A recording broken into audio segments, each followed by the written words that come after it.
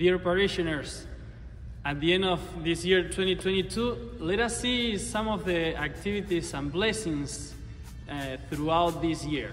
Let's see.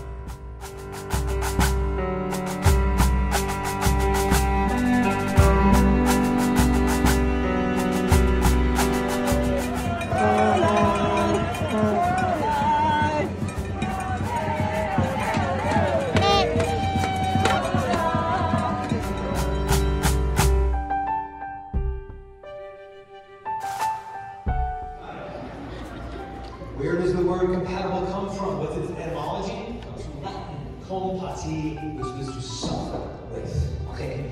Lasting marriages, I remember you did so perfectly. Lasting marriages is because you decide to show up and you fight.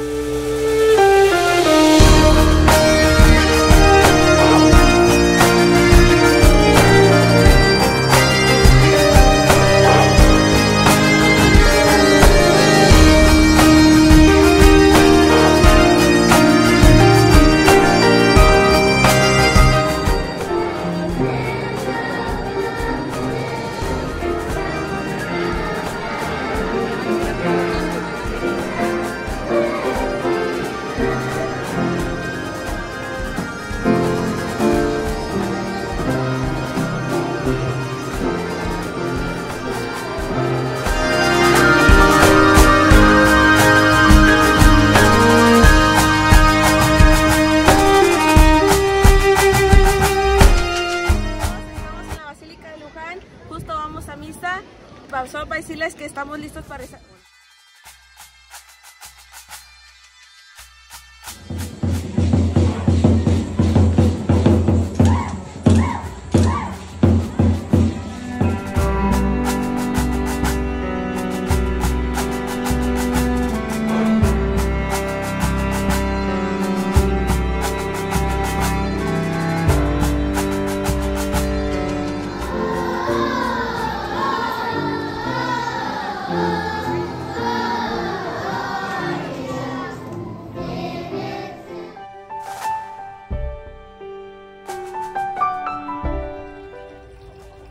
Muchas gracias por toda su generosidad y compromiso primero con Dios y con la parroquia. Merry Christmas and Happy New Year.